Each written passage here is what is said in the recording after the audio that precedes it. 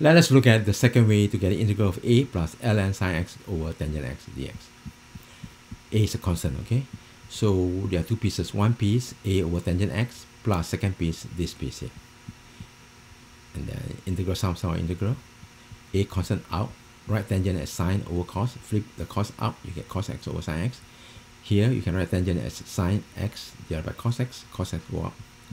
Now push this into dx, the real sine x is cos x dx and push this into dx, you get the derivative sine x is cos x dx.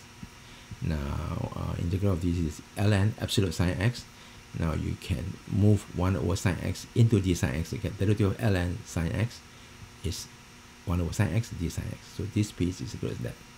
Now here you have integral y dy, you get y, 1 plus 1 over 1 plus 1, where y is ln sine x. 1 plus 1 is 2 upstairs, 2 downstairs, 2 here, ln sine x, and then 2 downstairs. Okay, half times ln square sine x was done. Thank you for watching. Hope video is informative, helpful. Before you go, make sure subscribe, share, comment, and don't forget to hit or smash the like button. See you.